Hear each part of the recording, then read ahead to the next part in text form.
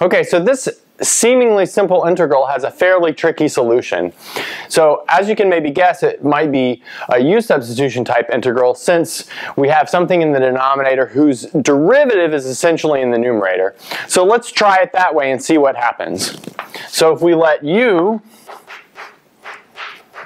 equal the denominator of this function, that gives us du equals 2x dx, which is part of the numerator. So notice there's our u, but now our du is only this portion. But that's not too bad because if we look carefully, what we're left with is 1 over x squared plus 1, which is hopefully an integral that you're, you're familiar with.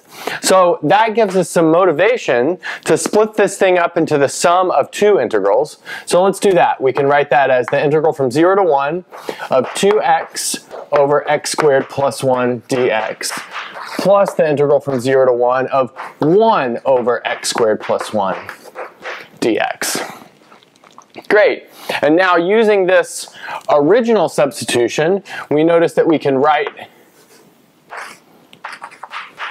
this in a much more simple way using that substitution.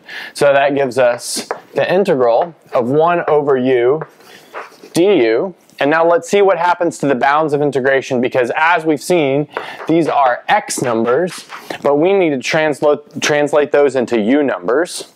So we can go over here to our substitution and see what happens. If x equals 0, u is 0 plus 1, so u is 1. And then if x equals 1, u is 1 plus 1, so u is 2. Great, so now we've got this first integral taken care of, and now we can check out the second one.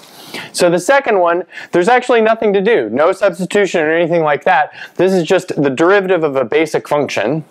So if you look that up, you'll get that this is the arctangent of x, in other words, the inverse tangent function, evaluated from 0 to 1. Okay, great, so now let's finish it off.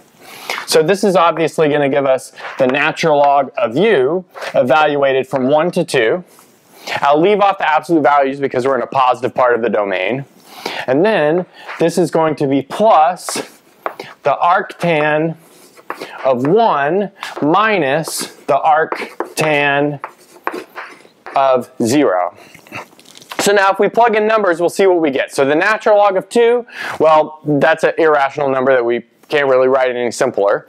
The natural log of 1 is obviously 0, so that leaves us in the end with the natural log of 2 plus arctan of 1 is pi over 4 and then arctangent of 0 is 0. So there we have our final answer.